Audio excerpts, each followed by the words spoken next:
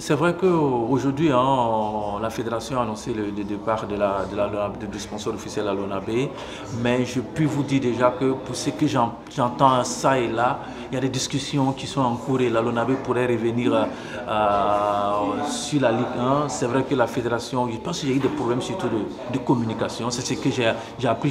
J'en suis pas sûr, mais je pense que la LONAB pourrait revenir parce qu'on l'a fait savoir. Hein. c'est une entreprise nationale qui entend développer le, le sport et la jeunesse au niveau du, pays. La LONAB est partenaire de plusieurs activités sportives, de plusieurs autres disciplines.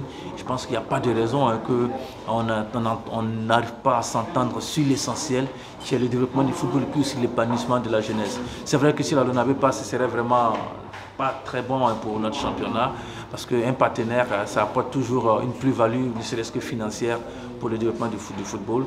Si la LONAB passe, ce serait pas bien. Mais je pense, pour ce que j'entends, il y a des possibilités que euh, les uns et les autres mettent un peu dans leur vin et qu'on revienne à des meilleurs sentiments. C'est vrai que la question sécurité intéresse tout le monde, qu'on soit footballeur ou burkinabé tout simplement. je pense qu'on est tous impliqués, intéressés par la question sécuritaire. Il n'y a pas de raison que pour une question ou une autre on puisse dire. La LONAB, certes, va lutter contre l'insécurité, mais doit aussi pouvoir être là pour le développement du football burkinabé.